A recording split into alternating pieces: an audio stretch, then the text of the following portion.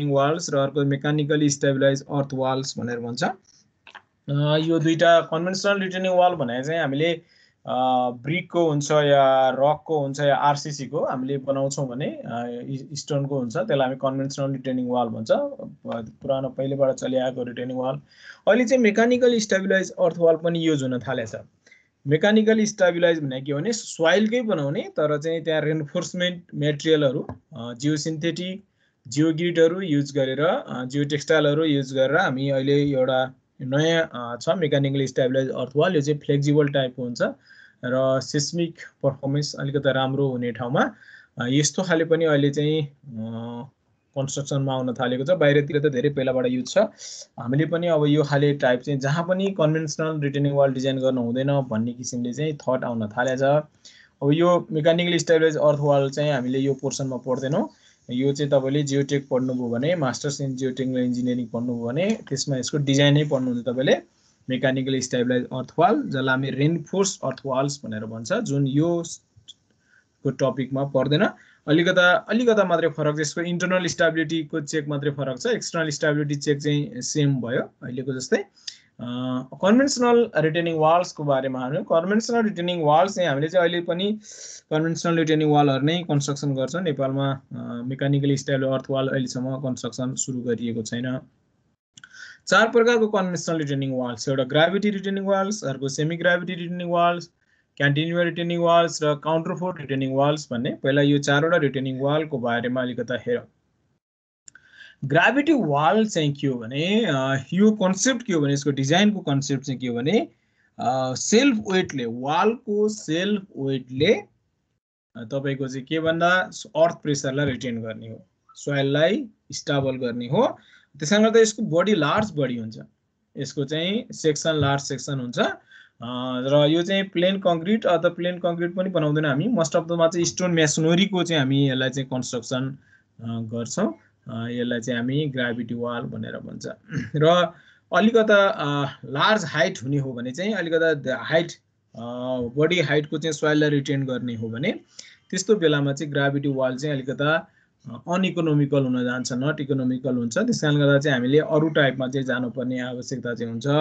र कहिले कहिले चाहिँ फेरि यसको चाहिँ ह्युज साइजको कारणले गर्दा फाउन्डेसनभन्दा मुनि रहेको सोइलले त्यसलाई रेसिस्ट गर्न नसक्ने बेरिङ फेलर हुनसक्ने कन्डिसन आयो भने पनि हामीले चाहिँ ग्राभिटी वाललाई छोडेर अर्कोमा जानुपर्छ।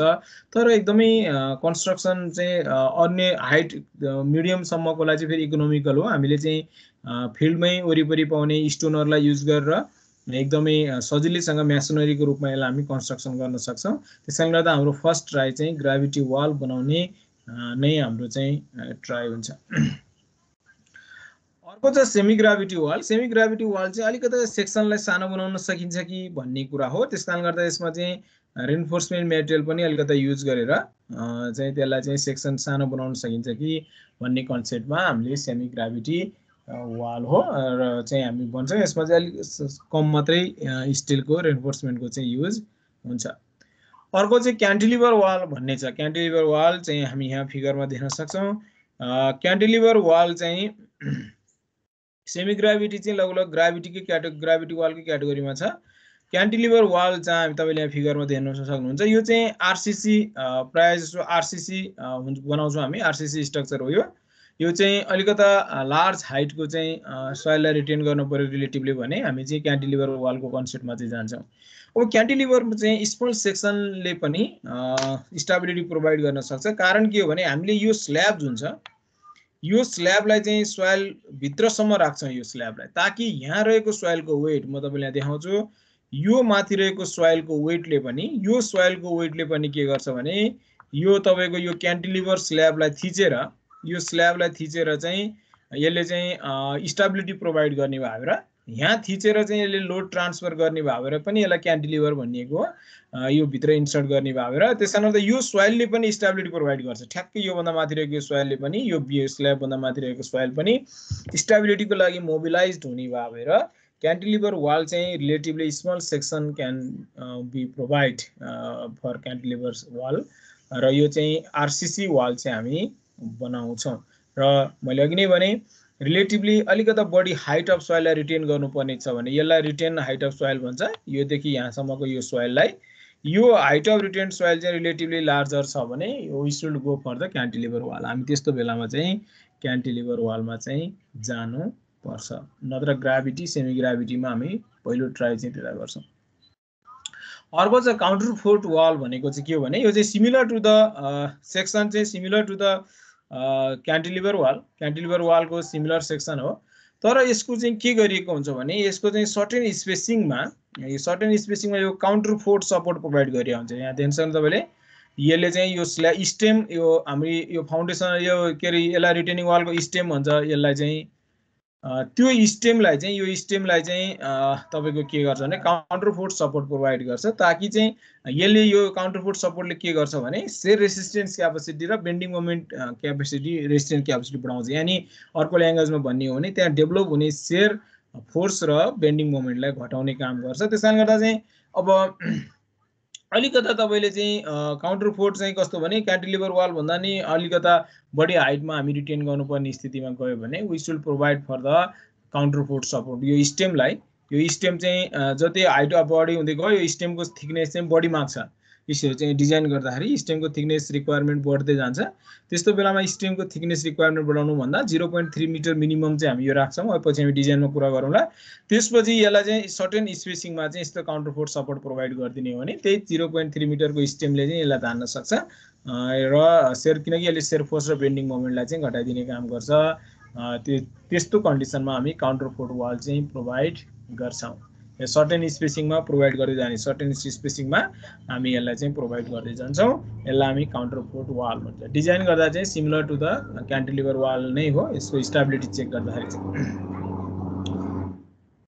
हामी जाउँ डिजाइन अफ रिटेनिङ वालमा रिटेनिङ वालको डिजाइन चाहिँ थ्री स्टेप्समा छ। एउटा प्रोपोर्सनिङ अफ रिटेनिङ वाल भनेर भन्छ। प्रोपोर्सनिङ अफ रिटेनिङ वाल भनेको चाहिँ कत्रो साइजको चाहिँ रिटेनिङ वालको हरेक कम्पोनेन्ट चाहिँ कत्रो कत्रो साइजको राख्ने भनेर प्रोपोर्सनिङ गर्ने। तपाईँले त्यसलाई चाहिँ डिजाइन गर्ने एजुम गर्ने भनौँ सुरुमा हामी एजुम गर्छौँ साइज हामी त्यत्रो साइजको कुन टाइपको राख्ने र कुन साइजको राख्ने भनेर तपाईँले एजुम गर्नुहुन्छ। र तपाईँले एजुम गरेको जुन डाइमेन्सन छ दोस्रो स्टेप चाहिँ के हो भने तपाईँले एजुम गरेको साइज अफ रिटेनिङ वालले चाहिँ अर्थ प्रेसरलाई थेक्न सक्छ कि सक्दैन। द्याट इज स्टाबिलिटी चेक हो। Stability check of retaining wall त्यसले चाहिँ स्टाबिलिटी प्रोभाइड गर्न सक्छ कि सक्दैन भनेर चेक गर्छौँ। सकेन भने फेरि पहिलो स्टेपमा जान्छौँ। फेरि साइज बढाउँछौँ हामी।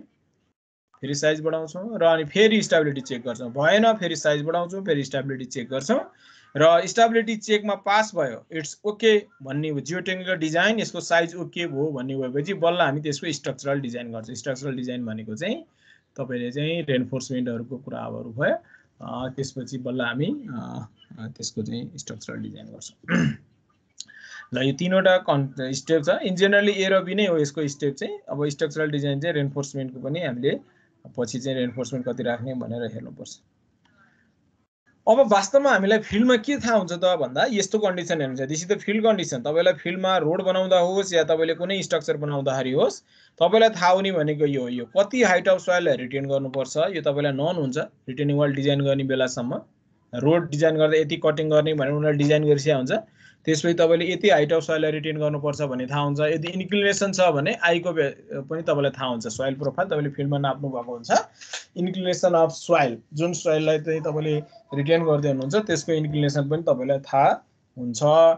अनि अर्को चाहिँ ल्याबोरेटरी टेस्ट गरेर तपाईँले जहाँ रिटेनिङ वाल डिजाइन गर्नुपर्छ त्यहाँको चाहिँ ल्याब सोइल अलिकता सोइललाई ल्याबमा ल्याएर तपाईँले सिफाई एन्ड गामा चाहिँ पत्ता लगाउनुपर्छ in generally retaining wall design गर्दाखेरि चाहिँ एज्युम गर्ने चलन छ होइन? That is the very poor practice एकदम सिम्पल टेस्ट हुन्छ ल्याबोरेटरी टेस्ट तपाईँले सोइल मेकानिक्स पढिसक्नु भएको छ। अलिकति सोइललाई त्यहाँबाट लिएर आएर ल्याबमा टेस्ट गर्ने हो भने very easily you can find the c phi and gamma gamma पत्ता लगाउन तपाईँले के गर्न सक्नुहुन्छ? गामा पत्ता लगाउन तपाईँले चाहिँ कोर कटर मेथड युज गर्न सक्नुहुन्छ होइन?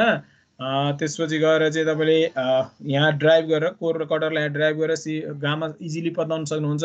त्यहाँको सोइललाई ल्याएर डाइरेक्ट सेयर टेस्ट मात्रै गर्नुभयो। चाहिँ भने सी फाइभ पत्लाउन सक्नुहुन्छ। त्यसले गर्दा हाम्रो अलिकति इन्जिनियरिङ प्र्याक्टिस चाहिँ पुवर छ। एज्युम गर्ने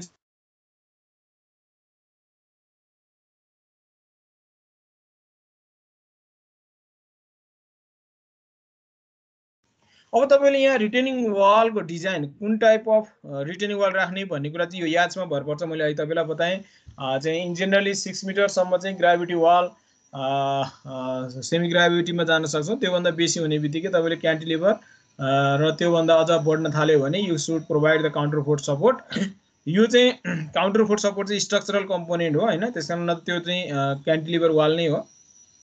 त्यसरी तपाईँले डिजाइन गर्ने। अब डिजाइन गर्दाखेरि तपाईँले सबभन्दा पहिला सिलेक्ट गर्ने हो भने जुन टाइप अफ फाउन्डेसन गरे पनि सिलेक्ट गर्ने भनेको डी हो।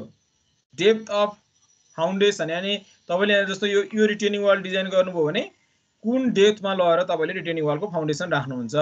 That is the depth retaining वालको foundation यो डेप्थमा बस्यो भने तपाईँको यो रिटेनिङ वाल यसरी बस्यो। सपोज मैले अहिले यहाँ देखाएँ। यसरी बस्यो भने द्याट इज द डी तपाईँलाई सबभन्दा पहिला तपाईँले सिलेक्ट गर्ने भनेको डी हो। डी कति राख्ने भन्ने कुरा र यो डी डिपेन्ड्स अन द के भन्दा रिटेन हाइट यो रिटेन हाइटमा भर पर्छ र सुरुमा तपाईँले जिरो पोइन्ट सिक्स मिनिममबाट ट्राई गर्नुहुन्छ। डी चाहिँ zero point six metre minimum यो मिटर हो metre छुटेछ। Zero point six metre minimum तपाईँले भोलि डिजाइन गर्दा पनि एकदमै ध्यान दिनु होला zero point six metre minimum value हो यो। योभन्दा तपाईँले चाहिँ चाहिँ zero point six metre minimum value तपाईँले यो चाहिँ प्रोभाइड गर्नु पऱ्यो मिनिमम। अब सुरुमा मिनिममबाट जान्छौँ अनि स्टेबिलिटी चेक गर्दै बढाउँदै जानुपर्छ। त्यसपछि तपाईँलाई के थाहा हुन्छ भने याच क्यापिटल याच थाहा हुन्छ।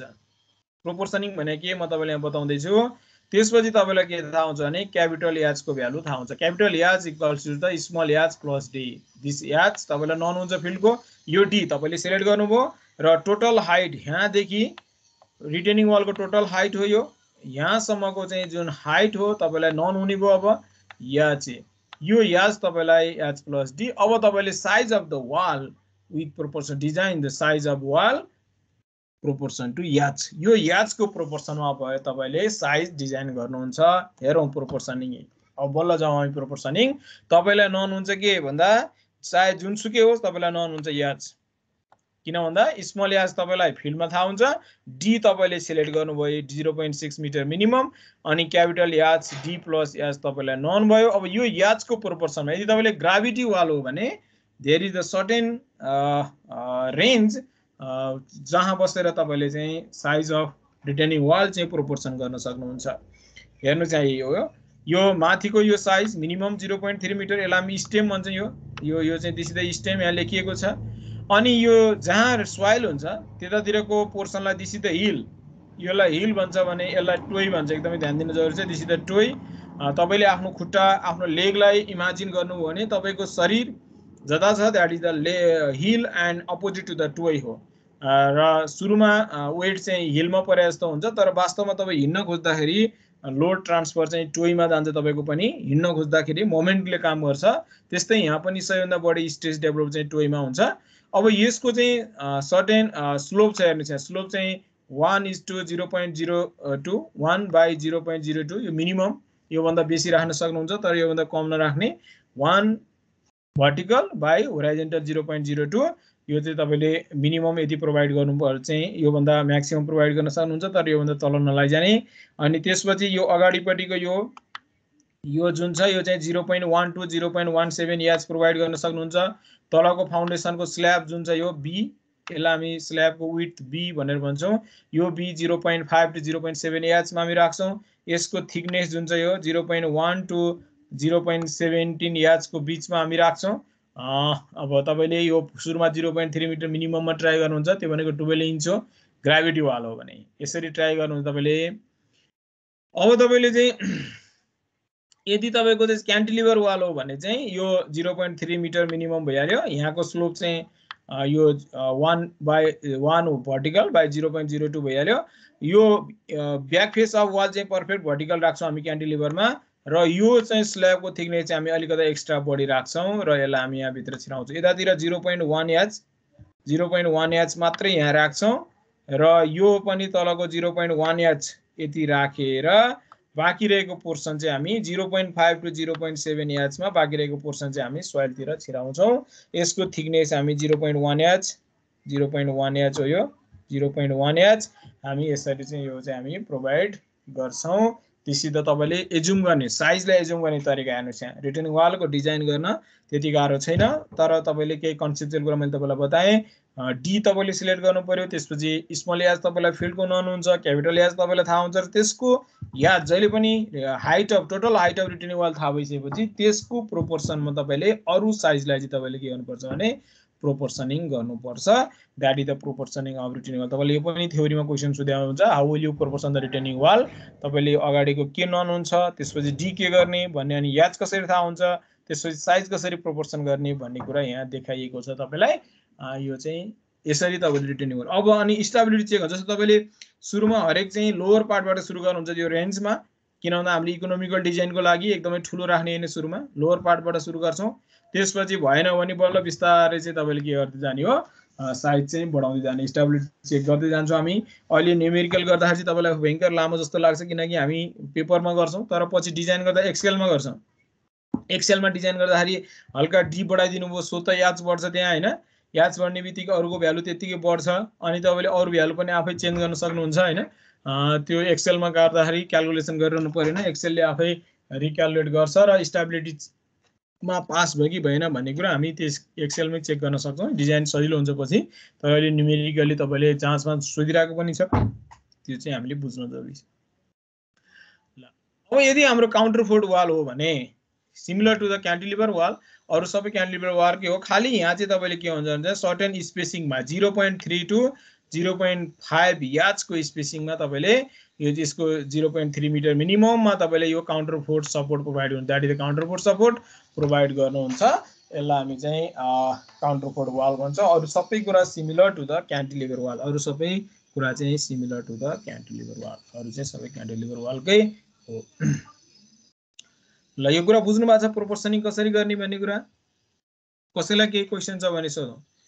यो हामीले फिल्डमा हामीलाई याच नन हुन्छ soil of retain height of soil to be retain अनि स्लोप चाहिँ सोइलको रिटे के अरे चाहिँ होराइजेन्टल छ या त्यसको इन्क्लिनेसन छ भने आई हामीले नाप्न सक्छौँ फिल्डमा अनि सोइललाई ल्याबोरेटरी टेस्ट गरेर सिफाई गामा तपाईँले चाहिँ ल्याब टेस्टबाट थाहा हुन्छ अनि यो सिफाई गामाले अर्थ प्रेसर क्यालकुलेट गर्न सक्नुहुन्छ त्यसपछि यहाँ चाहिँ डी चाहिँ तपाईँले सिलेक्ट गर्ने पहिला D minimum zero point six metre हो त्योभन्दा चाहिँ height of soil retain soil जति बढ्दै भयो तपाईँले जिरो पोइन्ट सिक्स मिटरभन्दा बढाउनु पर्ने हुन्छ। अनि टोटल याच तपाईँलाई थाहा हुन्छ डी सिलेक्ट गर्ने बित्तिकै। त्यसपछि यो H total height of the retaining वालको प्रोपोर्सनमा तपाईँले अरू साइजलाई चाहिँ के गर्नुहुन्छ? प्रोपोर्सनिङ गर्नुहुन्छ। जुनको रेन्ज मैले तपाईँलाई यहाँ देखिएको थिएँ प्र्याक्टिकल्ली प्र्याक्टिसमा आएको रेन्ज हो यो। कुनै हार्ड एन्ड फास्ट रुल्स होइन। प्र्याक्टिसमा चाहिँ यतिदेखि यतिमा राख्दाखेरि हुन्छ भनेर आएको रेन्ज हो। यो रेन्जमा बसेर तपाईँले चाहिँ डिजाइन गर्नुहुन्छ। That is the counter football ल अब जाउँ हामी स्टाबिलिटी चेक तपाईँले साइज त जुम गर्नुभयो। रिटेनिङ वालमा चारवटा फेलरको एकदमै पोसिबिलिटी रहन्छ।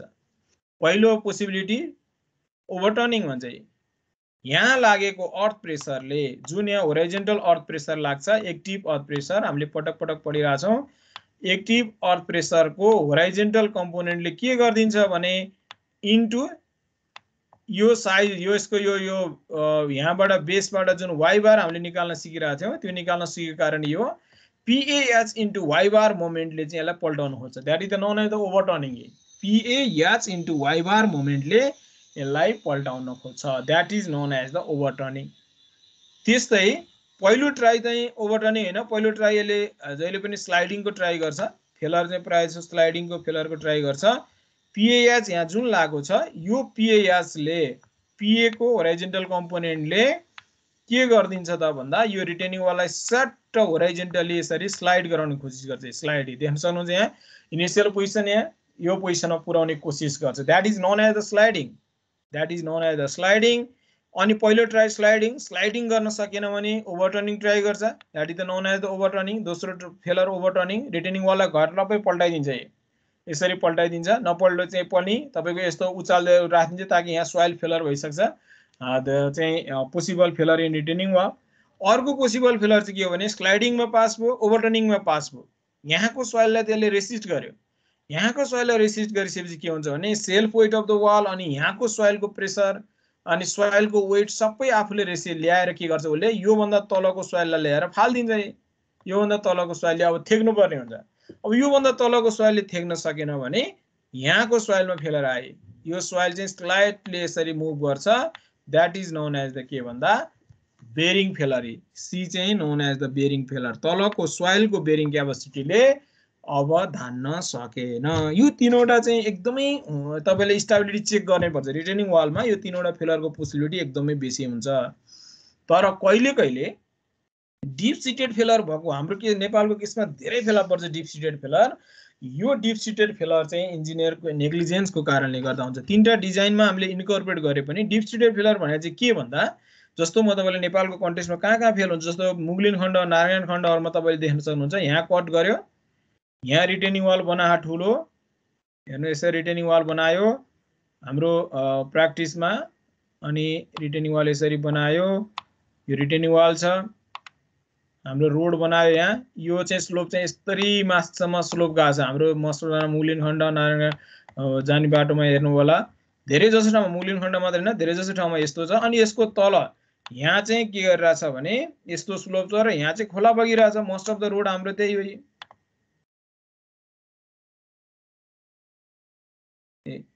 यहाँबाट चाहिँ खोला बगिरहेको छ। हाम्रो रोड चाहिँ यो हो। रोड चाहिँ यसरी गएको छ। दिस इज द रोड अब कहिले कहिले के भइदिन्छ भने डिप सिटेड फिलर भने चाहिँ यो हो यहाँबाट स्वाटै सोइल यसरी यसरी गएर यसरी स्वाटै खोलामा झरिदिने। रिटेनिङ वाल रोड यो माथिको स्लोप सहित खोलामा गएर जाने। यो धेरै ठाउँमा तपाईँहरूले यो फेलर देख्नुहुन्छ। That is known as the deep seated failure यो डिप सिटेड फेलर चाहिँ के हो भने सोइलको विक विक फेलर चाहिँ यहाँ तपाईँले च्याप्टर इलेभेनमा पढिसक्नु भएको छ। सरले पढाउनु भयो होला त्यो बेलामा। च्याप्टर इलेभेनमा पढिसक्नु भएको छ स्लोपमा फेलर पोसिबल फेलर प्लेन तपाईँ एजुम गर्दै गर्दै गर्दै गर्दै कहाँबाट फेल हुनसक्छ भनेर हामी गर्न सक्छौँ। पोसिबल फेलर प्लेन यहाँनिर विक प्लेन चाहिँ यहाँनिर थियो। तपाईँले के गर्नुभयो भने यो रिटेनिङ वाल बनाइदिनु भयो सोच्नुभयो। यो सोइललाई मात्रै थेक्ने हिसाबले तपाईँले ध्यान दिनुभयो। यो रिटेनिङ वालले यो सोइललाई त थेग्यो तर रिटेनिङ वाल बनाइसकेको केही समय पछाडि पुरै रिटेनिङ वाल सहित यो बाटोबाट तलबाट गइदियो। कारण के झन् रिटेनिङ वालले झन् के गर्छ भने वेट थपिदिन्छ हेर्नु चाहिँ। फेलरलाई डिप फेलर चाहिँ रिटेनिङ वाल नबनाएकै भयो बरु दुई तिन महिना पछाडि आउँथ्यो होला। तपाईँले रिटेनिङ वाल बनाइदिएर वेट बढाइदिएर कारणले के हो भन्दा झन् फेलर चाहिँ तपाईँको थपिन्छ। त्यस कारणले गर्दा चाहिँ डिप सिटेड त्यस्तो स्लोपहरूमा चाहिँ तपाईँले एनालाइसिस गर्नुपर्छ। डिप स्टुडेन्ट फेलर चाहिँ अहिले हामीले यहाँ एनालाइसिस होइन च्याप्टर इलेभेनमा जसरी। च्याप्टर इलेभेनमा तपाईँले सोइल मेकानिक्सको च्याप्टर इलेभेनमा स्टेबिलिटी अफ स्लोपमा जुन पढ्नु भएको थियो त्यहाँ चाहिँ पोसिबल फेलर सर्फेसहरू एजुम गर्दै गर्दै त सबैको फ्याक्टर अफ सेफ्टी निकालेर तपाईँले जुन चेक गर्नुभएको थियो त्यो चेक गर्नुपर्छ। अनि नत्र चाहिँ यसरी रिटेन यदि त्यहाँ पोसिबल फेलर यहाँ छ भने यसरी रिटेनिङ वाल बनाएर हुँदैन। यो रिटेनिङ वालको मको तल यसरी तपाईँले पाएर राखिदिनुपर्छ यसरी। यदि तपाईँले यसलाई यो बचाउने हो भने नत्र चाहिँ यो राख्यो भने के हुन्छ भन्दा यो फेलर सर्फेसभन्दा तल लोड ट्रान्सफर हुन्छ र तपाईँले यसलाई समेत रेसिस्ट गर्न सक्ने गरी यो पाइलको डिजाइन गर्न सक्नु तपाईँले ग्रुप पाइल अथवा चाहिँ तपाईँको size of the retaining wall अनुसार यो डिजाइन गरेर तपाईँले यसलाई माथिको लागि बचाउन सक्नुहुन्छ डिप सिटीलाई पनि बचाउन सकिन्छ। पहिला यसलाई यसलाई स्टाबल गर्नु पऱ्यो अनि बल्ल यो रिटेनिङ वालले चाहिँ यो यो पोर्सनको सोइललाई चाहिँ रिटेन गर्न सक्छ।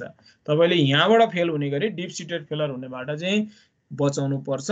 यो पनि धेरै ठाउँमा चाहिँ हुन्छ। त्यसलाई चाहिँ हामीले स्टेबिलिटी एनालाइसिस मेथडबाट तपाईँले सोइल मेकानिक्समा पढेको स्टेबिलिटी एनालाइसिस जुन हो त्यो मेथड युज गरेर डिप सिटेड फेलर हुन्छ कि हुँदैन भनेर चेक गर्नुपर्छ। अहिले यो डिप सिटेड फेलरको चेक चाहिँ तपाईँले पढिसक्नु भएको छ। अहिले हामी कुन स्टेबिलिटी चेक गर्दैछौँ? ओभरटर्निङको स्लाइडिङको र बेरिङ फेलर चेक यो तिनवटा चाहिँ तपाईँले रिटेनिङ वाल डिजाइन गर्ने बित्तिकै सबै ठाउँमा स्लोप भओस् या नभओस् सबै ठाउँमा तपाईँले के गर्नुपर्छ? यो तिनवटा चेक चाहिँ गर्नै पर्छ। अब अलिकता कन्सेप्चुअल कुरामा जाउँ हामी। के अरे चाहिँ तपाईँले स्टेबिलिटी चेक गर्ने भनेको अर्थ प्रेसरलाई थेक्न सक्छ कि सक्दैन भनेर चेक गर्ने हो। अब earth pressure calculation is the major part earth pressure calculation कसरी गर्ने त रिटेनिङ वालमा भन्ने कुरा हामीले बुझ्न जरुरी छ। तपाईँले ऱ्याङ्काइन्स थ्योरी र कोलम्स थ्योरी दुईवटा थ्योरी पढ्नु भएको छ। कुन चाहिँ थ्योरी एप्लाई गर्ने भन्ने कुरा चाहिँ बुझ्न जरुरी छ। तपाईँले पढिसक्नुभयो ऱ्याङ्काइन्स थ्योरी युज गर्नलाई back face of the wall vertical हुनुपर्छ। And back face of the wall smooth हुनुपर्छ। यो दुईवटा कन्डिसन नहुँदासम्म ऱ्याङ्काइन्स थ्योरी लाउन पाइँदैन। फेरि मैले दोहोऱ्याएँ हामीले पटक पटक पढिरहेको यो। Back face of the wall vertical हुनुपर्छ र back face of the wall smooth नभइकन ऱ्याङ्काइन्स अर्थ प्रेसर थ्योरी लाउन पाइँदैन। अब यो दुईवटा कन्डिसन नभएको ठाउँमा हामीले के लाउने हो त भन्दा कोलम्स थ्योरी लाउने हो। यो दुईवटा मध्ये कुनै एउटा मिट नखाने बित्तिकै। Back face of the wall smooth छैन भने पनि हामीले कोलम्स थ्योरी लाउनुपर्छ। Back face of the wall चाहिँ इन्क्लाइन छ भने पनि हामीले कोलम्स थ्योरी लाउन पाइन्छ। त्यस कारणले गर्दा यो कुरालाई ध्यानमा दिएर चाहिँ तपाईँले मोस्टली क्यान्टिलिभर वालमा चाहिँ यहाँ मैले यहाँ देखेको छु क्यान्टिलिभर वालमा चाहिँ you can use the Rankine's earth pressure theory Rankine's earth pressure theory तपाईँले युज गर्न पाउनुहुन्छ। अब तर ध्यान दिनुपर्ने कुरा के हो भने ऱ्याङ्काइन्स अर्थ प्रेसर थ्योरी लाउने हो भने तपाईँले रिटेनिङ वालको फेस चाहिँ यसलाई मान्नुपर्छ तपाईँले। ठ्याक्कै यो भर्टिकल लाइन ड्र गरेर यो तपाईँले यो हाइट अफ रिटेनिङ वाल मानेर क्यालकुलेट गर्नुपर्छ यास ड्यास हाइट रिटेनिङ वालको हाइट यास थियो त्यसलाई लिन पाइँदैन।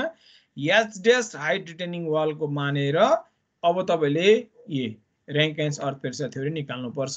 र यो वेट अफ सोइललाई तपाईँले केमा राखिदिनु पऱ्यो भने वेट अफ सोइललाई चाहिँ ठ्याक्कै यो स्ल्याबमाथि राखिदिनु पऱ्यो वेट अफ सोइललाई चाहिँ तपाईँले स्टाबिलिटी प्रोभाइडको कम्पोनेन्टको रूपमा युज गर्न सक्नुहुन्छ।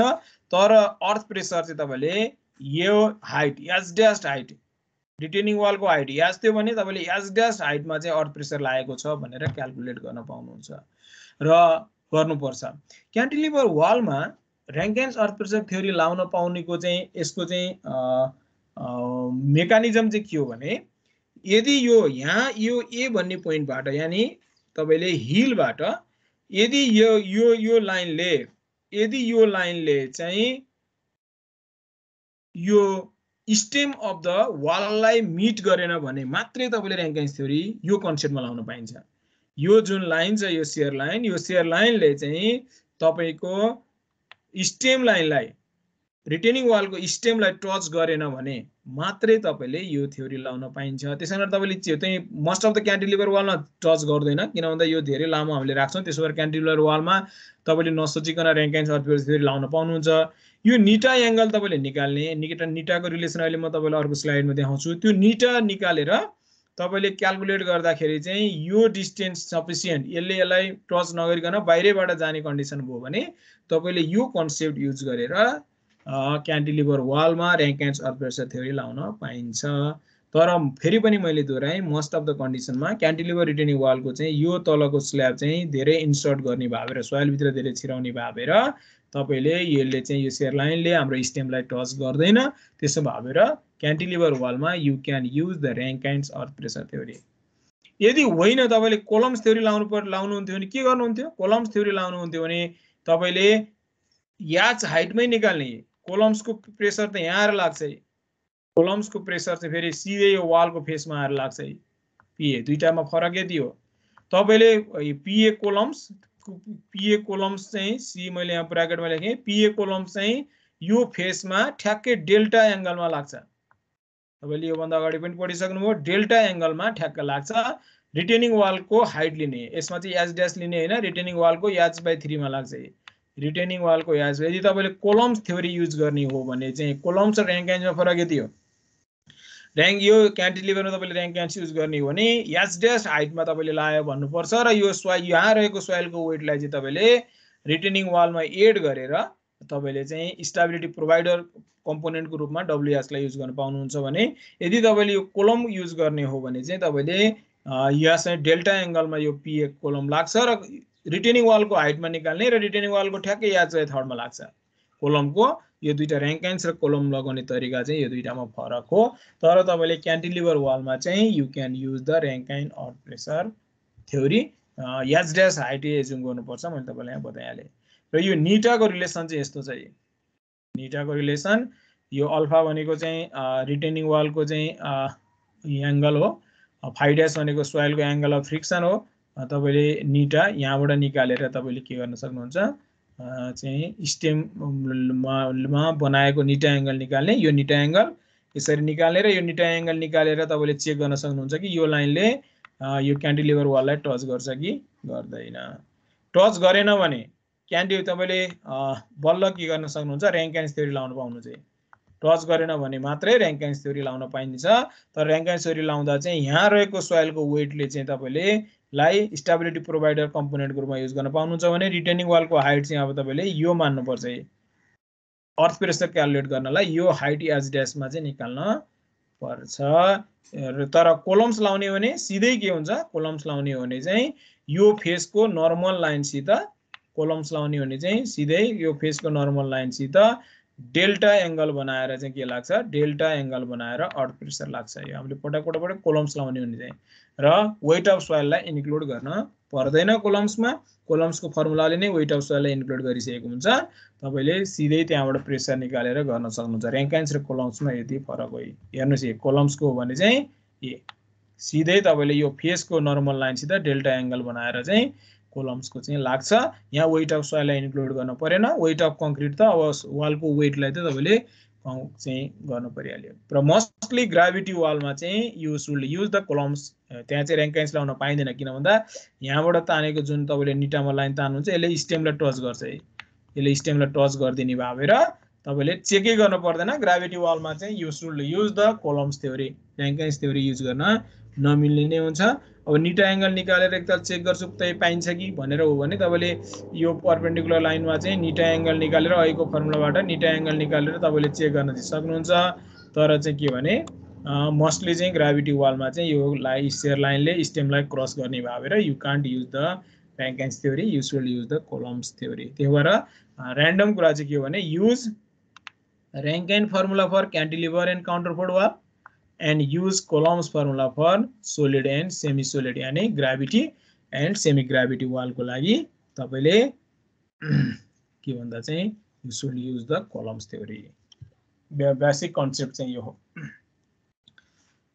अब स्टेबिलिटी चेकमा हामी जाउँ। स्टेबिलिटी चेकमा यदि हामी जाने भने अहिले एउटा इक्जाम्पल क्यान्टिलिभर वालको लागि हामी यहाँ लिएका छौँ। अब यहाँ forces acting on the retaining wall के के हुन्छ त भनेर म तपाईँलाई देखाउँछु। फोर्सेस तपाईँले सबभन्दा पहिला पिए निकाल्नुहुन्छ यो हाइटलाई याज ड्यास हाइटलाई चाहिँ तपाईँले वाल मानेर यो हाइटलाई नानेर पिए अब पिए चाहिँ कसरी लाग्छ त भन्दा होराइजेन्टलसँग बी एङ्गलमा लाग्छ हामीले पटक पटक पढ्यौँ। स्लोपमा स्लोप यदि यो स्लोप छ भने जहिले पनि पिएको फर्मुला के हुन्छ भन्दा PA equals to half gamma याची स्क्वायर केए हुन्छ र केएको फर्मुला चाहिँ cos five whole into cos five minus root under cos square five I minus cos square I cos square यो जुन चाहिँ फर्मुला थियो स्लोपको लागि त्यो हामीले डिराइभ गरेको त्यो फर्मुला युज गरेर चाहिँ तपाईँले पिए क्यालकुलेट गर्नुभयो। त्यो चाहिँ जहिले पनि होरालिनसँग बिटा एङ्गल लाग्छ भनेपछि पिएको दुईवटा कम्पोनेन्ट हुन्छ हेर्नुहोस् यहाँ। पिएको एउटा PV component which act as vertically हेर्नु एउटा यो फेसमा ठ्याक्कै एच बाई थ्री हाइटमा एज यो यो हाइटमा भने अर्को चाहिँ पिएच कम्पोनेन्ट पिएको कस बिटा कम्पोनेन्ट पिएच चाहिँ कस बिटा कम्पोनेन्ट पिबी चाहिँ साइन बिटा कम्पोनेन्ट यो दुइटा यहाँ लाग्छ। त्यसपछि तपाईँले चाहिँ यहाँ रिटर्निङ वालको हाइट माने भएर वेट अफ सोइललाई तपाईँले इन्क्लुड गर्नु पऱ्यो वेट अफ सोइललाई यो यति हाइट यो भित्र परेको सोइलको वेट निकालेर ठ्याक्कै यो रेक्टेङ्गुलरको सिजीबाट लाग्छ वेट अफ सोइल त्यसै गरी वेट अफ कङ्क्रिट यहाँ चाहिँ weight of wall weight of wall लाग्छ यसको सिजीबाट लाग्छ। भने यतातिर एक्टिभ प्रेसर लाग्छ भने यसको अपोजिटतिर प्यासिभ प्रेसर लाग्छ। है त प्यासिभ प्रेसर यो हाइटमा चाहिँ प्यासिभ प्रेसर लाग्छ। एक्ज्याक्ट प्रेसरहरू के के लाग्छ हेर्नुहोस्। अनि यो यो पिएले रिटेनिङ वाललाई बाहिरतिर मुभ गर्न खोज्ने भएर यहाँनिर चाहिँ रेसिस्टेन्स डेभलप हुन्छ। त्यो रेसिस्टेन्स चाहिँ के हो भने यदि क्ले छ भने कोइसी फोर्स लाग्छ। कोइसी फोर्स यदि स्यान्ड छ भने फ्रिक्सन फोर्स लाग्छ है। त्यस कारणले गर्दा यो रेसिस्टिभ फोर्स चाहिँ तपाईँको के हो भने रेसिटिभ फोर्स चाहिँ दुईवटा एउटा एउटा फ्रिक्सन फ्रिक्सन भनेको जहिले पनि mu into total vertical load हो आर ए म्यु इन्टु आरभी यो भनेको फ्रिक्सन फोर्स हो म्यु भनेको कोभिसेन्ट अफ फ्रिक्सन तपाईँले एप्लाइड मेकानिक्समा पढिसक्नु भएको छ। यदि तपाईँको चाहिँ यदि कोइसिभ सोयल हो भने कोइजन एडिसी फोर्स लाग्छ सिए कहाँभरि लाग्छ त भन्दा यो बीभरि लाग्छ CA into B. That is the cohesive force लाग्छ।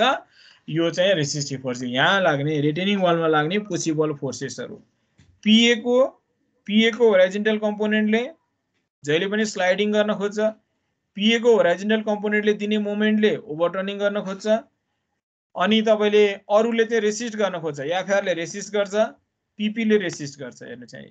स्लाइडिङ र ओभरटर्निङलाई त्यसै गरी वेट अफ रिटेनिङ वाल र वेट अफ सोइलले पनि रेसिस्ट गर्छ। वेट अफ रिटेनिङ वाल र वेट अफ सोइलले रेसिस्टिङ कम्पोनेन्टहरू के के भन्दा weight of soil weight of wall PP and यो रेसिस्टिङ फोर्स यिनीहरूले चाहिँ रेसिस्ट गर्छ।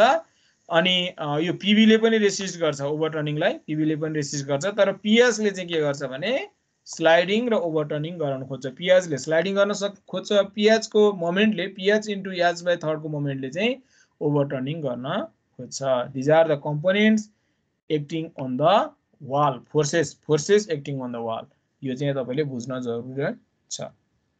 त्यसो भने अब सबभन्दा पहिला चाहिँ हामी चेक एगेन्स्ट स्लाइडिङ स्लाइडिङ हुन्छ कि हुँदैन भनेर चेक कसरी गर्ने? भन्दा पिएचले स्लाइडिङ गर्छ। मैले अघि तपाईँलाई बताइसकेँ पिएको होराइजेन्टल कम्पोनेन्ट जुन छ त्यसले स्लाइडिङ गर्छ। That is the sliding component भने यसलाई रेसिस्टेन्स के केले गर्छ त भन्दा रेसिस्टेन्स गर्ने एउटा प्यासिभ प्रेसर अघि नै मैले बताइसकेँ। प्यासिभ प्रेसर अर्को चाहिँ आ म्यु आर भनेको थिएँ मैले। आर भनेको म्यु भनेको जहिले नि टेन डेल्टा हुन्छ। Friction between wall and soil R भनेको टोटल भर्टिकल लोड भयो यहाँ। R tan delta that is the frictional force अर्को चाहिँ यदि तपाईँको क्ले मिक्स भएको सोयल अथवा क्ले छ भने एडिसी फोर्स लाग्छ। कोइजनको कारणले त एडिसी फोर्स लाग्छ सिए इन्टु बी त्यो एडिसी फोर्स चाहिँ कोइजनको सर्टेन कम्पोनेन्ट लाग्छ जस्तो zero point three two zero point सेभेनसम्म लिन्छौँ हामी depending on the clay zero point three two जस्तो कोइजन सत्तरी के अरे टेन छ भने त्यसको zero point three two zero point seven times चाहिँ एडिसी फोर्सको रूपमा लिन्छौँ यदि हाम्रो सोइल चाहिँ क्ले छ भने। यो यसरी तपाईँले चाहिँ यसले चाहिँ रेसिस्ट गर्छ एफआर तिनवटा यी मैले फेरि यो फिगरमा देखाएँ। यो एउटा पिपी यसले यो पिएचलाई रेसिस्ट गर्ने पिपीले एन्ड चाहिँ अर्को चाहिँ एफआरले एफआरमा के के पर्यो भन्दा एउटा चाहिँ फ्रिक्सनल फोर्स म्युआर म्युआर भने म्यु भनेको जहिले पनि टेन डेल्टा हुन्छ र सिए भनेको एडेसिभ फोर्स हो। एडेसिभ फोर्स कसरी थाहा हुन्छ त भन्दा कोइजन सोयलको कोइजनको zero point three two zero point seven times चाहिँ हामी लिन्छौँ। सफ्टबाट भेरी स्टिप क्लेमा चाहिँ यदि सफ्ट छ भने जिरो पोइन्ट सेभेन र जति हामी स्टिपमा पुग्दै जान्छौँ त्यसको भ्यालु चाहिँ घटाउँदै घटाउँदै जिरो पोइन्ट थ्रीसम्म चाहिँ हामी झारेर त्यसको चाहिँ भ्यालु हामी पिकअप गर्छौँ। ल। यो अब त्यसो हो भने स्लाइडिङमा फ्याक्टर अफ सेफ्टी तपाईँले क्यालकुलेट गर्नु पऱ्यो फ्याक्टर अफ सेफ्टी भनेको जहिले पनि resisting force by sliding force है। Resisting force by sliding force. Sliding force यो दुइटाको रेसियो वान पोइन्ट फाइभ या योभन्दा ठुलो आयो भने equal or greater than one point five आयो भने तपाईँले के बुझ्नुहोस् भने तपाईँले डिजाइन गरेको वालले स्लाइडिङमा चाहिँ काम गर्न सक्छ।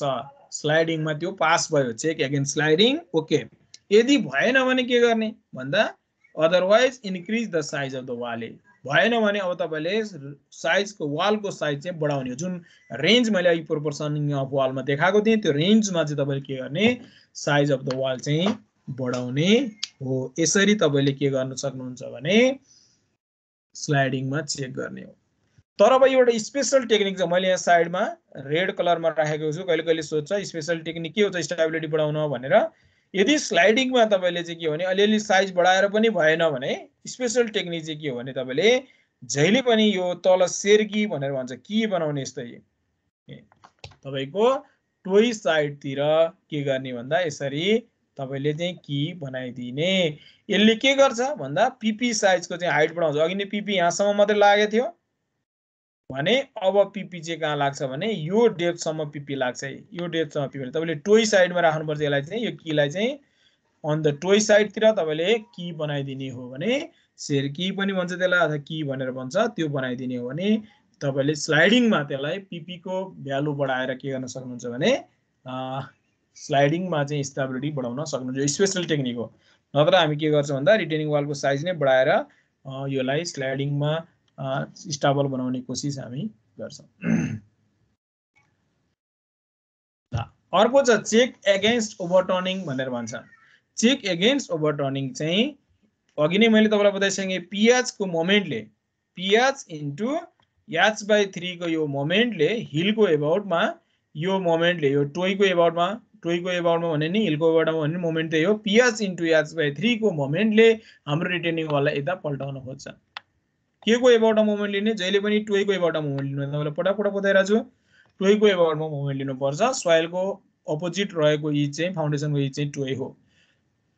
पिएच इन्टु एच बाई थ्रीले जहिले पनि के गर्छ भने ओभरटर्न गर्न खोज्छ। That is overturning moment PH into H by three भने यसलाई रेसिस्ट गर्ने मोमेन्ट के छ भन्दा? रेसिस्ट गर्ने मोमेन्ट चाहिँ वेट अफ वाल इन्टु सिजीसम्मको त्यो lever arm weight of wall into CG सिजीसम्मको lever arm plus weight of soil into सोइलसम्मको lever arm तपाईँले निकाल्न सक्नुहुन्छ सजिलैसँग। जहिले पनि रेक्टेङ्गलको सिजीमा लाग्छ भनेपछि यहाँदेखि यहाँसम्म डिस्टेन्स तपाईँलाई थाहा हुन्छ। त्यसै गरी भर्टिकल फोर्सेस अफ रिटे यो अर्थ प्रेसर इन्टु यहाँदेखि यहाँसम्म डिस्टेन्स भनेको बी यो तिनवटाले चाहिँ रेसिस्ट गर्छ।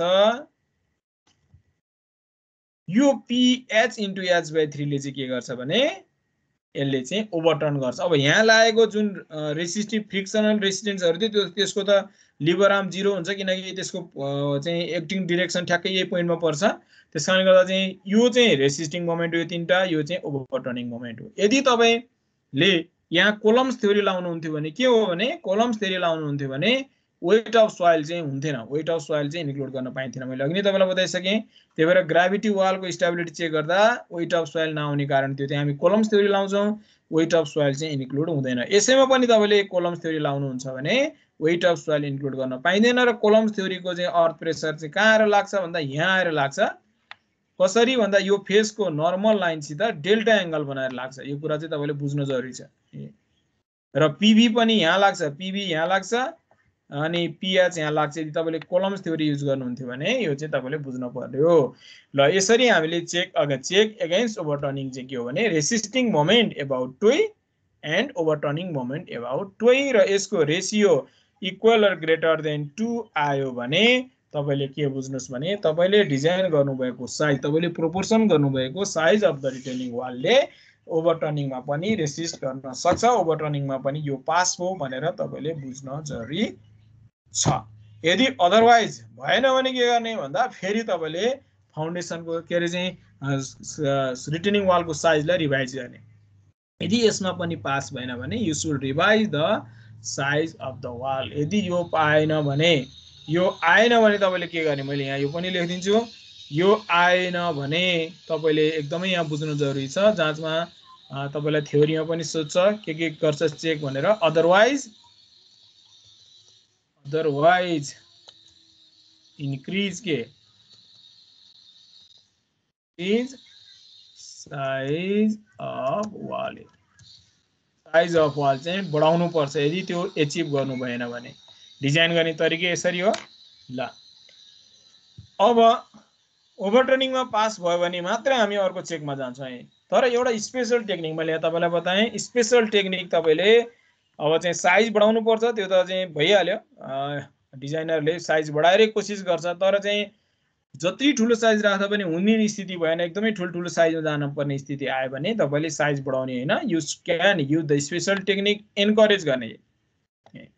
यसरी डिजाइन नगरिकन एन्करेज गर्न सक्नु तपाईँले। एन्कर राखेर त्यस्तो भयो भने यो ओभरटर्निङलाई यसले चाहिँ रेसिस्ट गर्छ। तपाईँले एन्कर गरिदिने हो भने you can provide the anchor retaining walls तपाईँले त्यसरी गर्न सक्नुहुन्छ। स्पेसल टेक्निक एगेन्स्ट ओभरटर्निङ ओभरटर्निङको एगेन्स्टमा यो स्पेसल टेक्निक तपाईँ एप्लाई गर्न सक्नुहुन्छ।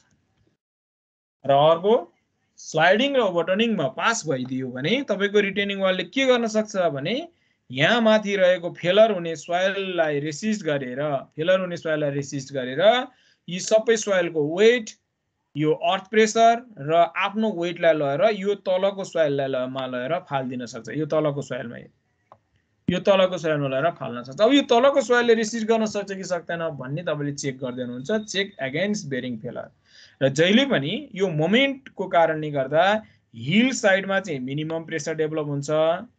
यो प्रेसर डेभलप बिलो फाउन्डेसनमा हेर्नु होला यो यतातिर टोइ साइडतिर म्याक्सिमम प्रेसर डेभलप हुन्छ। QT is the maximum pressure and QH heel साइडलाई QH छ टोइ साइडको लागि क्युटी भनिएको छ क्युटी चाहिँ म्याक्सिमम प्रेसर हो र क्युएच चाहिँ मिनिमम प्रेसर डेभलप हुन्छ।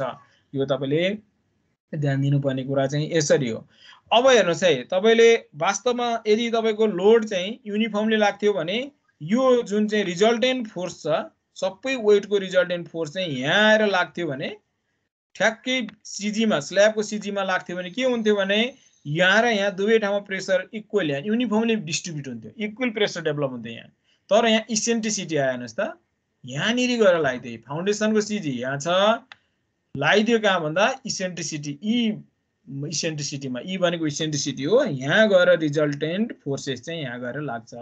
सबै फोर्सको रिजल्टेन्ट फोर्सेस त्यो इसेन्ट्रिसिटी चाहिँ हामी कसरी पत्ता लगाउन सक्छौँ भन्दा? इसेन्ट्रिसिटीको भ्यालु चाहिँ जहिले पनि तपाईँले यो यहाँसम्मदेखि यहाँसम्मको डिस्टेन्स कति हुन्छ त यो भन्दा जहिले पनि summation of moment divided by total vertical load गर्नुभयो भने यहाँदेखिको यहाँसम्मको डिस्टेन्स आउँछ। Summation of moment divided by total vertical load गरिदिने हो भने यसलाई हामी एक्स बार भनौँ न होइन? टोइबाट त्यहाँसम्मको डिस्टेन्स एक्स बार जहिले पनि summation of moment divided by total vertical load. E summation of moment summation of moment भनेको रेसिस्टिङ मोमेन्ट वा ओभरटर्निङ मोमेन्ट ओभरटर्निङ मोमेन्टलाई नेगेटिभ मान्छौँ रेसिस्टिङ मोमेन्टलाई पोजिटिभ मान्छौँ divided by summation of vertical load summation of vertical load गऱ्यो भने x बार आउँछ र इसेन्ट्रिसिटी यहाँ फिगरमा देख्न सक्नुहुन्छ eccentricity equals to B by two minus X bar हो B by two minus X bar यहाँबाट तपाईँले के निकाल्न सक्नुहुन्छ भने इसेन्ट्रिसिटी निकाल्न सक्नुहुन्छ you can calculate the eccentricity ध्यान दिनुपर्ने कुरा के हो भने यहाँ पनि एउटा चेक छ इसेन्ट्रिसिटीको value can not be greater than B by six यहाँ पनि एउटा चेक गर्नु तपाईँले. इसेन्ट्रिसिटीको भ्यालु बी बाई सिक्स भन्दा कुनै पनि हालतमा ठुलो आउनु हुँदैन। ठुलो आयो भने तपाईँले फाउन्डेसनको साइज बढाइहाल्नुपर्छ। फाउन्डेसनको विथ बढाउनुपर्छ। B बढाइहाल्नुपर्छ। Eccentricity can not be greater than B by six कारण के हो भने यहाँ हेर्नुहोस् यहाँ। म्याक्सिमम प्रेसर टोइ साइडको प्रेसरको फर्मुला यो हो। आर भनेको टोटल भर्टिकल लोड बी भनेको with one plus six E by B हो यो। अनि हिल साइडमा लाग्ने मिनिमम प्रेसर चाहिँ यस्तो हुन्छ क्युए भनेको आरबी बाई बी नै हो। RB by B one minus six E by B हुन्छ मिनिमम प्रेसर यदि तपाईँले इसेन्ट्रिसिटीको भ्यालु बी बाई सिक्स निकालिदिनु भने के आउँछ भने यो क्यु याच यानि मिनिमम प्रेसरको भ्यालु नेगेटिभ आउँछ। यस्तो प्रेसर डेभलप हुन्छ यहाँ। यहाँ पोजिटिभ एकदमै धेरै पोजिटिभ यो साइडमा गएर यसरी नेगेटिभ डेभलप भइदिन्छ हेर्नुहोस् यहाँ भनेपछि स्ल्याबमा टेन्सन फोर्स डेभलप हुन्छ। That is the positive and that is the negative tension force develop भयो भने यो टेन्सन फोर्सले हाम्रो यहाँ स्ल्याबलाई चाहिँ के गर्न सक्छ? स्ल्याबमा चाहिँ फेलर आउन सक्छ। स्ल्याबमा क्र्याक आउन सक्छ। त्यस कारणले गर्दा चाहिँ यहाँ टेन्सन डेभलप नहुने गरी यो स्ल्याबमा टेन्सन डेभलप नहुने गरी यानि हिल साइडको चाहिँ प्रेसर पनि पोजिटिभ आउनको लागि के हुनुपर्छ भन्दा इको भ्यालु बी बाई सिक्सभन्दा ठुलो हुन आउन हुँदैन। यदि बी बाई सिक्सभन्दा ठुलो आउने स्थिति आयो भने तपाईँले यो बीको भ्यालु बढाइहाल्नुपर्छ। एउटा चेक यहाँ। त्यसपछि तपाईँले टोइ साइडको म्याक्सिमम प्रेसर र हिल साइडको मिनिमम प्रेसर निकालिसकेपछि यो म्याक्सिमम प्रेसरलाई टोइ साइडको म्याक्सिमम प्रेसरलाई चाहिँ जुन यो क्यालकुलेट गर्नुपर्छ यो प्रेसरलाई चाहिँ सोइलले थेक्न सक्छ कि सक्दैन चेक गर्ने। सोइलले थेक्न सक्छ कि सक्दैन। क्युयु भनेको चाहिँ सोइलको नेट अल्टिमेट बेरिङ क्यापासिटी हो। त्यसलाई तपाईँले क्युटीले डिभाइड गर्दा फ्याक्टर अफ सेफ्टी के आउनुपर्छ भन्दा थ्री आउनुपर्छ। Factor of safety should be कसरी क्यालकुलेट गर्ने त भन्दा सोइलको बेरिङ क्यापासिटी तपाईँलाई थाहा हुन्छ। Q divided by QT. यो गर्दाखेरि चाहिँ के आउनुपर्छ भन्दा should be equal or greater than three आयो भने तपाईँको के भयो? तपाईँको चाहिँ फाउन्डेसनले अब थेक्न सक्छ सोइलले थेक्न सक्छ फाउन्डेसन स्टाबल हुन्छ यानि बेरिङ फेलर हुँदैन। यदि यो आएन भने थ्रीभन्दा ग्रेटर या इक्वल आएन थ्रीभन्दा कम आयो भने तपाईँले फाउन्डेसनको साइज चाहिँ के गर्ने? इन्क्रिज गर्ने। You should increase the size of the foundation तपाईँले फाउन्डेसनको साइज चाहिँ इन्क्रिज गर्न पर्छ। यो चाहिँ तपाईँले बुझ्न जरुरी छ यो चाहिँ यसरी हामीले चेक एगेन्स्ट बेरिङ फेलर चाहिँ हामी चेक गर्छौँ। तिनवटा चेक र यो पनि चेक गर्ने भयो तपाईँले। एकदम ध्यान दिनु पर्ला E should be equal or greater than B by six हुनैपर्छ यदि यो भयो भने स्ल्याबमा टेन्सन फोर्स क्रिएट हुन्छ। For no tension on foundation slab you should check in eccentricity can not be greater than B by six otherwise you should increase the size of foundation B बढाइहाल्नुपर्छ यहीँ बढाइदिइहाल्नुपर्छ eco value greater than B by six आउने बित्तिकै तपाईँले eco चाहिँ बीको value बढाइहाल्नुपर्छ। त्यसपछि यहाँ calculate गर्नुहुन्छ र यो यो फ्याक्टर अफ सेफ्टी चाहिँ चाहिँ bearing capacity by maximum stress QT toe साइडमा डेभलप म्याक्सिमम स्ट्रेस डेभलप गर्दा इक्वल ग्रेटर देन थ्री आयो भने पास भयो। होइन भने त्यहाँ पनि तपाईँले फाउन्डेसनको साइज चाहिँ बढाउन पर्छ ए यो तपाईँले तेस्रो चेक तपाईँले यसरी गर्नुहुन्छ। अब तपाईँलाई के हो भने जति गर्दा पनि चाहिँ स्लाइडिङ र ओभरटर्निङमा फाउन्ड यो माथिको पोर्सनको साइज बढाउने हो। हेर्नुहोस् यहाँ स्लाइडिङ र ओभरटर्निङमा इन्क्रिज गर्नलाई यो रिटेनिङ वालकै साइज बढाउने हो। तर यदि बेरिङ फेलरमा हो भने तपाईँले विथ फाउन्डेसनको विथ मात्रै बढाउने हो बेरिङ फेलरमा स्टाइल साइज बढाउने होइन बेरिङ यो विथ बढाउने हो बी तर अब के भइदिन्छ कहिले भने तपाईँले स्लाइडिङ र ओभरटर्निङमा बढाउनमा ल्याउनको लागि तपाईँले साइज बढाइदिनु भयो। बे भने बेरिङ फेलरमा जति बी राख्यो भने बेरिङ फेलर हुने सम्भावना रहन्छ। बेरिङ फेलमा चाहिँ पास नहुन सक्छ। त्यस्तो बेलामा स्पेसल टेक्निक चाहिँ के हो भने टोय साइडतिर तपाईँले ब्याटर पायल डिजाइन गरिदिने। ब्याटर पायल सर्टेन स्पेसिङमा राखिदिने। यो ब्याटर पायलले होराइजेन्टल लोड पनि थेक्छ यो ब्याटर पायलले भर्टिकल लोड पनि थेक्ने भएर भइदिन्छ के भने यसले चाहिँ तपाईँलाई again sliding overturning and bearing फेलरमा stability provide गर्छ। रिटेनिङ वालको साइज चाहिँ ठुलो नराख्ने चाहिँ ठिकै राख्ने तर के भने अब तिनवटामा स्टेबिलिटी ल्याउनलाई के भने सर्टेन स्पेसिङमा ब्याटर पायल डिजाइन गर्ने यसरी पनि गर्ने चलन छ। ब्याटर पायल इन्क्लाइन पायल हो यसले इन्क्लाइन लोडलाई रेसिस्ट गर्छ। यो हामी पायल फाउन्डेसनमा पढ्छौँ अहिलेलाई मैले यति बताएँ स्पेसल टेक्निक चाहिँ के हो भने त्यस्तो बेलामा रिटेनिङ वालको साइज बढाएर पनि नहुने एकदमै अत्याधिक आयो। तलको फाउन्डेसनभन्दा तलको सोइलको चाहिँ चाहिँ विक सोइल छ बेरिङ क्यापेसिटी त्यति राम्रो आएन भने त्यस्तो कन्डिसन आउँछ। त्यसो भएर तपाईँले त्यस्तो बेलामा चाहिँ you should use the batter pile certain स्पेसिङमा हामी ब्याटर पायल कन्स्ट्रक्सन गर्छौँ। स्पेसल टेक्निक अब फर डिप सिटेड फेलर मैले तपाईँलाई अघि नै भनिसकेँ फर डिप सिटेड फेलरमा चाहिँ तपाईँले stability theory slope stability theory use गर्नुपर्छ काहीँ डिप सिटेडमा कुनै पोसिबलको फेलर फेलरको पोसिबिलिटी छ कि भनेर चेक गर्ने भने you should use the deep seated slope stability theory तपाईँले युज गर्न पर्छ। ल हामीले थ्योरिटिकली पढ्ने कुरा यो हो। ल न्युमेरिकल हेर्नुहोस् यहाँ ल कति छ टाइम हेरौँ अनि न्युमेरिकल तपाईँले गर्नुपर्छ। जाँचमा पटक पटक सोधिरहेको न्युमेरिकल छ। ल न्युमेरिकल हेरौँ। टाइम रहेछ। ल यो न्युमेरिकल कापी कलम लिएर तयार हुनु त यो। यो न्युमेरिकल देखाएर हुँदैन। तपाईँलाई मैले कसरी क्यालकुलेट गर्ने भन्ने सिकाउँछु। ल न्युमेरिकल गरौँ।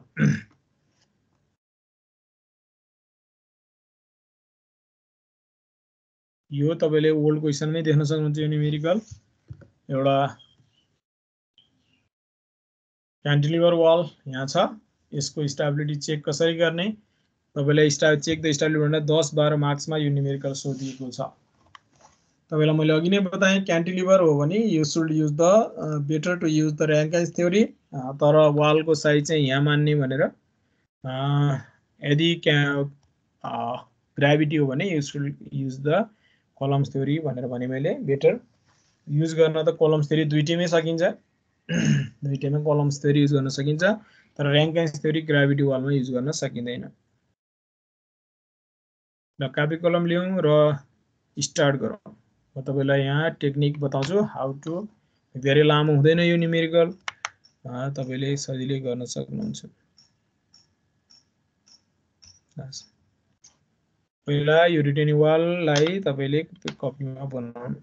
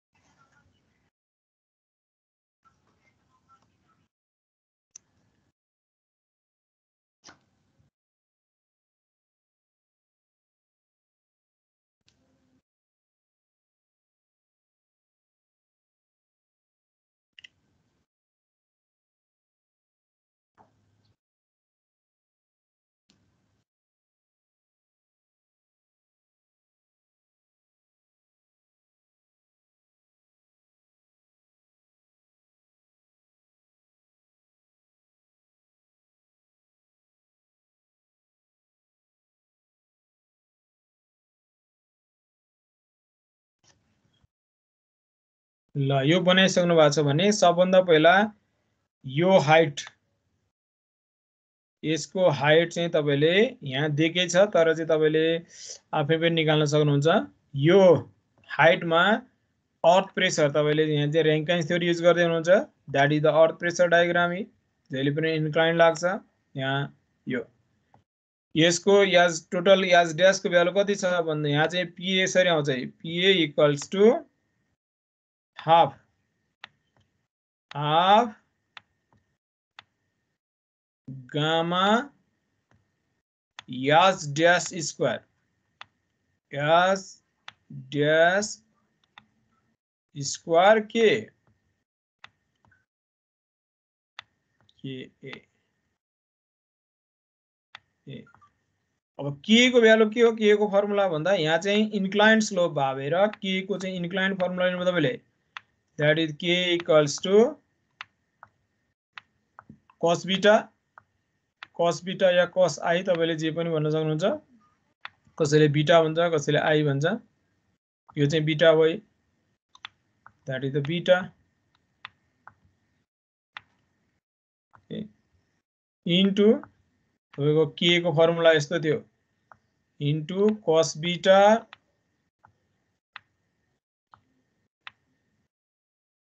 minus root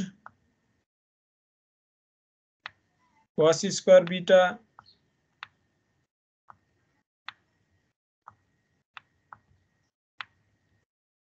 minus cos square phi cos square phi by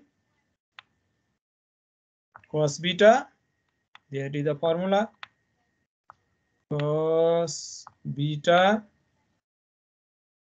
plus यहाँ चाहिँ अहिले माइनस त्यो माथि अनि यहाँ तल प्लस फरक यति हो अरू सबै सेम हो। पछि square beta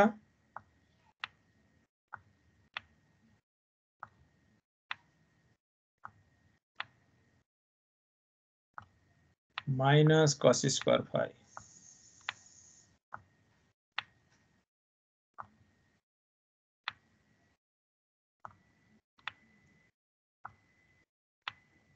formula H dash कति हो भन्दा? याज ड्यासको भ्यालु चाहिँ zero point seven six six point seven and zero point four five eight गर्दाखेरि याज ड्यासको भ्यालु आउँछ। तपाईँले त्यो तिनवटा जोड्नुहोस्।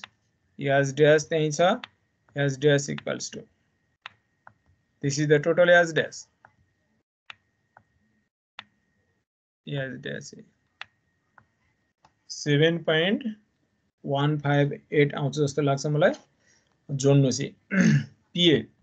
यो पिएको भ्यालु आइसकेपछि तपाईँले फिगरमै तपाईँले पिबीको component पिएको sine beta component and PH cos beta component. र यो पिएच कतिमा लाग्छ भन्दा ठ्याक्कै यो बेसबाट one by third of H dash H ड्यासको one by थर्डमा लाग्छ एच ड्यासको वान बाई थर्डमा एच ड्यास बाई थर्डमा चाहिँ त्यो लाग्छ। फिगरमा यो देखाइदिने पछि हामीले गर्न सजिलो हुन्छ ए पिभीको भ्यालु यहाँ लेखिदिनुहोस् पिएचको भ्यालु यहाँ लेखिदिनुहोस् कस बिटा एन्ड साइन बिटा कम्पोनेन्ट तपाईँले यसरी निकाल्न सक्नुहुन्छ। निकाल्नुहोस् तपाईँलाई पिएको।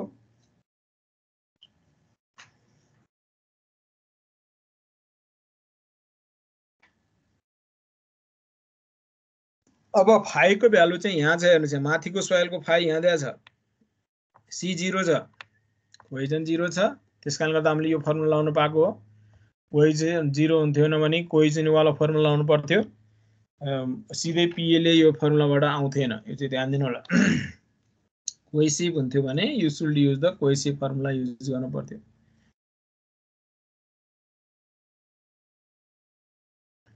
कोइसी फर्मुला युज गरेर अनि डायग्राम बनाएर amount total amount of thrust निकालेर त्यसपछि पोइन्ट अफ एप्लिकेसन निकाल्नु पर्छ तपाईँले यदि त्यो कोइसिभ हुन्थ्यो भने। ल अब यो यो चाहिँ तलको सोइल चाहिँ फाउन्डेसन सोइल हो यो। यसको प्रोपर्टी फरक छ। यो चाहिँ हामी बेरिङ क्यापेसिटी निकाल्नलाई युज गर्छौँ। त्यो चाहिँ अहिले हामीलाई यहाँ युज गर्न जरुरी छैन। अहिले चाहिँ अर्थ प्रेसरको लागि माथिल्लो सोइलको प्रोपर्टी युज गर्ने। यहाँबाट पिएको भ्यालु आउँछ। पिएबाट पिबी र पिएच निकाल्नुहोस्। अब प्र्याक्टिसमा इन चाहिँ साँच्चीकै गर्ने हो भने यहाँ तपाईँले पिपी पनि निकाल्नु पर्छ तर अब जहाँ चाहिँ न्युमेरिकल गर्दा चाहिँ चलन के छ भने पिपी ननिकालिकन गर्ने पनि चलन छ। पिपीलाई इग्नोर पनि गर्न सक्छौँ हामी। पिपी निकाल्ने तरिका त तपाईँलाई थाहा छँदैछ। पिपी चाहिँ PP equals to half KP gamma H square तपाईँले चाहिँ युज गर्ने। योभन्दा माथिल्लो सोइलको प्रोपर्टी यही नै हो। पिपी तपाईँले निकाल्न सक्नुहुन्छ। एकदमै एक्चुअली गर्ने हो भने पिपी पनि निकाल्नुपर्छ। Half KP gamma H square भयो। यो चाहिँ बिटा छैन यहाँ। होराइजेन्टल भएर कस के अरे भन्दा one minus sine beta by one plus के अरे चाहिँ one minus cos five by केपीको value कति भन्दा वान माइनस के अरे one plus cos sine five by one minus sine five हुन्छ। यता किनकि यो जमिन होराइजेन्टल छ। यहाँ जमिन इन्क्लाइन छ कुरा बुझ्नु जरुरी छ फेरि। यहाँ चाहिँ PP equals to half gamma H square H भनेको वान पोइन्ट फाइभ मिटर भइहाल्यो। Gamma H square KP KP equals to चाहिँ one plus sine five by one minus sine five हुन्छ। यो फाइभको भ्यालु त यति नै भइहाल्यो। पिपी निकाल्ने भने हामी यसरी निकाल्न सक्छौँ। यो चाहिँ बेसबाट one by third of one point five मिटरमा लाग्छ होइन जिरो पोइन्ट फाइभ मिटरमा लाग्छ पिपी पिपी यहाँबाट लाग्छ पिपी यसरी लाग्छ। मैले तपाईँलाई फेरि दोहोऱ्याएँ पिपी चाहिँ हामीले इन जेनरली चाहिँ पिपी छोडिदिने चलन छ। नेग्लेक्ट गरिदिने र अरू अरूबाट चाहिँ गर्ने चलन छ। यो चाहिँ जिरो पोइन्ट फाइभ मिटरमा लाग्छ। किनकि वान पोइन्ट फाइभ मिटरको वान बाई थर्ड भनेको जिरो पोइन्ट फाइभ मिटर।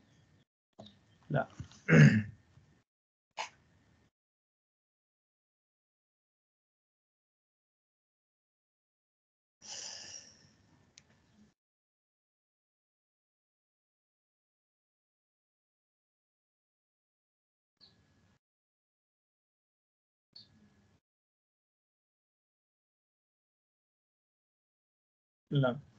अब यहाँ अर्को के लाग्छ?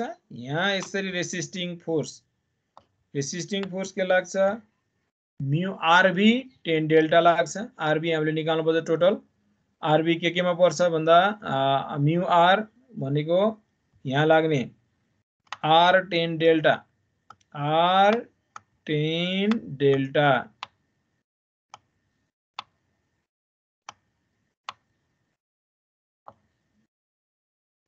plus CAB CA into B त्यसरी लाग्छ। अब हाम्रो यहाँ तलको सोइल हेर्नुहोस् यहाँ। आर भनेको चाहिँ आरमा के के पर्छ भन्दा रिटेनिङ वालको वेट सोइलको वेट र पिभी जोड्दा आर आउँछ। डेल्टा कति लिने भन्दा डेल्टा जहिले पनि तलको सोइलको टु बाई थर्ड लिने हो। यो जहिले पनि हामी त्यस्तो गर्छौँ। आरसिसीमा जहिले पनि सोइलको फाइभको टु बाई थर्ड चाहिँ डेल्टा हुन्छ। डेल्टाको भ्यालु तपाईँलाई दिएन भने ध्यान दिनु होला जहिले पनि two by third of five जहाँनिर हामीले लिँदैछौँ त्यहाँनिरको सोइल लिनुपर्छ। माथि हुन्थ्यो भने माथिको सोइलको यहाँ चाहिँ two delta two by third of five अब यो कोही सी पनि छ। सिएको भ्यालु तपाईँ लिन सक्नुहुन्छ। सिएको भ्यालु चाहिँ zero point three two zero point seven छ। इन जेनरल तपाईँले अब चाहिँ अब यो जिरो पोइन्ट थ्री लिनुहोस् ल। Zero point three into C Poisson यसरी लिन सकिन्छ। नत्र यसलाई इग्नोर पनि गर्न सक्छौँ हामी। सिए इन्टु बिरा पनि इग्नोर गर्न सकिन्छ। मोस्ट अफ द न्युमेरिकलमा त्यसलाई इग्नोर गरेको पनि हुन्छ। ल। अब यहाँबाट यहाँ लागेको फोर्सेस पनि आयो यो होराइजेन्टल लागेको फोर्सेस पनि आयो भनेपछि अब तपाईँले अघिनेको अब यति क्यालकुलेट गरिसकेपछि ट्याक्क ट्याक्क अघिनेको फर्मुलामा अब आर कसरी निकाल्ने त? आर कसरी निकाल्ने भन्दा यो वेटलाई चाहिँ हामीले तिनवटा टुक्रामा बाँडेछौँ रिटिन वालको वेटलाई वानको वेट यो रेक्टेङ्गुलरको area into gamma C gamma C always twenty four twenty five twenty four लिन्छ। इन जेनरल ट्वेन्टी फोर लिने। ट्वेन्टी फाइभ नै हो लिने गर्नेछ। Gamma C gamma C twenty four या ट्वेन्टी फाइभ लिनुहोस्। ए कङ्क्रिटको टु यसको area into gamma C three यसको एरिया इन्टु गामा सी यो तिनवटाको जोड भनेको वेट अफ यो यसलाई किन टुक्रा पारिएको भन्दा हामीलाई यिनीहरूको सिजी लिन सजिलो हुन्छ भन्ने भएर चाहिँ अहिले हामी मोमेन्ट निकाल्नुपर्छ ओभरटर्निङ चेक गर्दा त्यसले गर्दा टुक्रा यसरी पारिएको। तिनवटाको वेट आर निकाल्ने टोटल भर्टिकल लोड मा यो तिनवटाको वेट प्लस अब सोइलको वेट निकाल्दा यो रेक्टेङ्गुलरको एरिया इन्टु सोइलको गामा यहाँ दिएकै छ अठार। प्लस यो रेक्टेङ्गुलर यो ट्राइङ्गलको एरिया फाइभमा फोरमा यो यो रेक्टेङ्गलको एरिया इन्टु गामा। अनि सोइलको वेट पनि आयो पिबी छँदैछ। यो तिनवटा जोडिसकेपछि के आउँछ? आर आउँछ। R tan delta डेल्टाको value two by third of five लिनुहोस् CA zero point three C लिनुहोस्। ल अब ट्याक्क ट्याक्क फर्मुला लाउनुहोस् यी। अब ओभरटर्निङमा चेक गर्दा चाहिँ के? यसको सिजी तपाईँलाई थाहा छ यस टूको सिजी योबाट टु बाई थर्ड आउँछ। यसको सिजी बिचमा फाइभको सिजी यहाँबाट टु बाई थर्ड भनेपछि तपाईँले टुवेको एबाउटमा लिनुपर्छ। फोरको पनि यसको सिजी यहाँबाट लाग्छ पिबी यहाँ छ। तपाईँले चाहिँ यसरी चाहिँ पहिला यो हावाको सबै क्यालकुलेट गरेर आफ्नो फिगरमा उतार्नुहोस् र म अगाडिको फर्मुलामा देखाइदिन्छु। त्यसपछि तपाईँले स्टेबिलिटी चेक गर्न सक्नुहुन्छ। कसैलाई केही कन्फ्युजन छ भने सोध्नुहोस् है। यो चाहिँ त्यत्तिकै नगरिकन नबस्नु जाँचमा पटक पटक सोधिएको निमेरिकल हो। बाह्र मार्क्ससम्मको निमेरिकल सोधेको छ। यो धेरैचोटि सोधेको छ।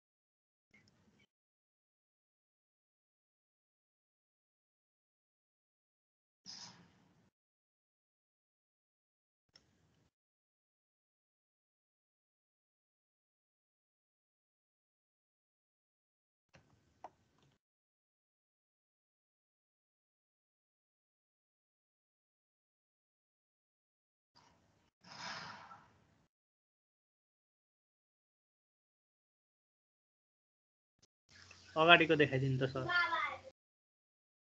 यहाँ सबै निकाल्न सक्नु भएन। ल अब अगाडिको लागि अब सबभन्दा पहिला check against sliding check against sliding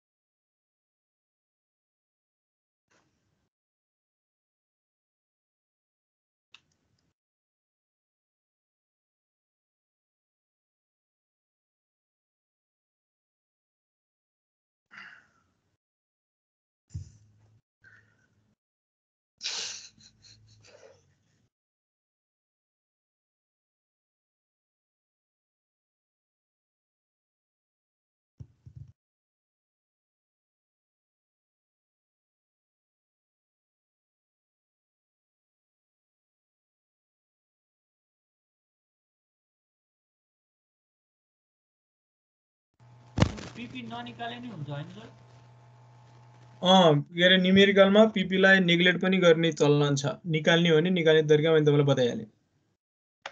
यो दुइटालाई चाहिँ नेग्लेक्ट गर्ने चलन छ क्या न्युमेरिकलमा पिपीलाई र यसलाई।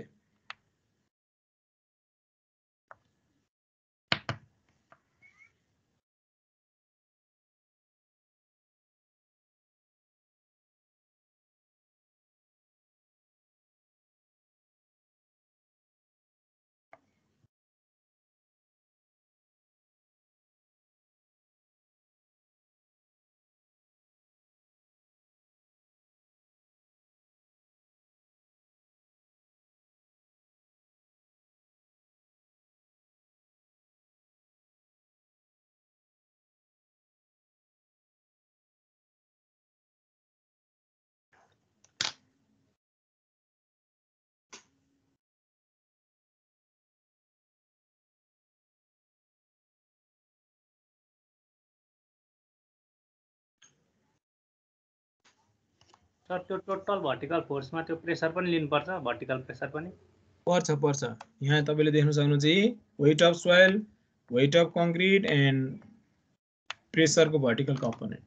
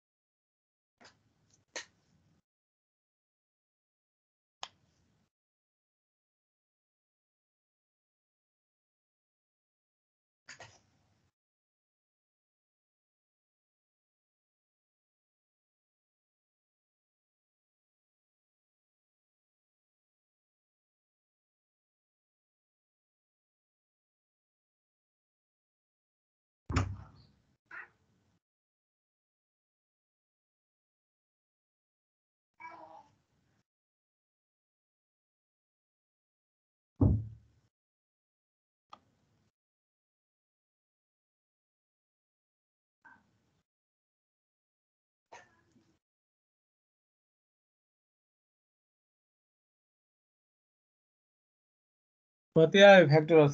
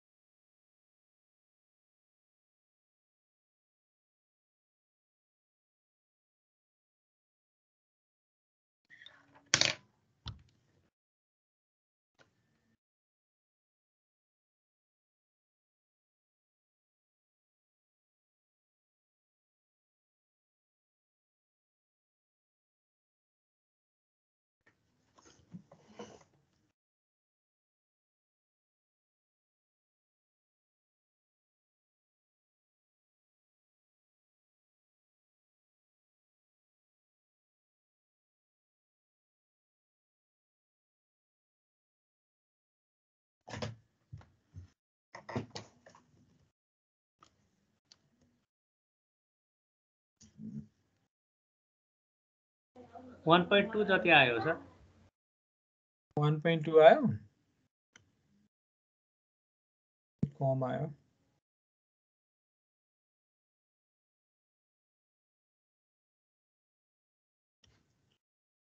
ल अब तपाईँहरूले म यो स्लाइड राखिदिन्छु यो सबै चेक गर्नुहोस्। र त्यसलाई चाहिँ तपाईँले गरेको कुरालाई चाहिँ उसमा सेयर गर्नुहोस् के अरे चाहिँ टिममा म यो चाहिँ तपाईँलाई अहिले स्लाइड चाहिँ राखिदिन्छु अनि सबै चेक गर्नुहोस्। अब अर्को हप्ता चाहिँ हामी यो क्यान्टिलिभर के अरे चाहिँ ग्राभिटी वालको चाहिँ हामी चेक गर्छौँ।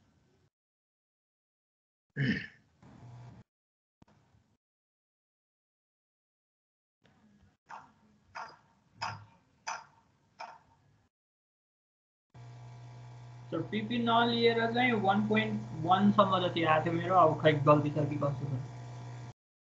हेर्नुहोस् एकताल राम्रोसँग हेर्नुहोस्।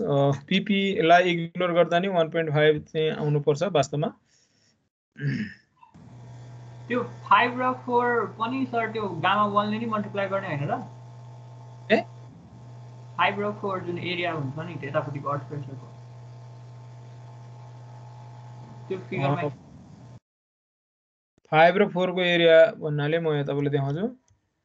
यहाँ भनेको फाइभ फोरको वेटलाई चाहिँ अठारले मल्टिप्लाई गर्ने फाइभको एरियालाई नै अठारले मल्टिप्लाई गर्ने। सोइलको वेट निकाल्दा। कङ्क्रिटको वेट निकाल्दा चाहिँ ट्वेन्टी फाइभले मल्टिप्लाई गर्ने। ट्वेन्टी फाइभ पनि लिन्छ कङ्क्रिटको लागि।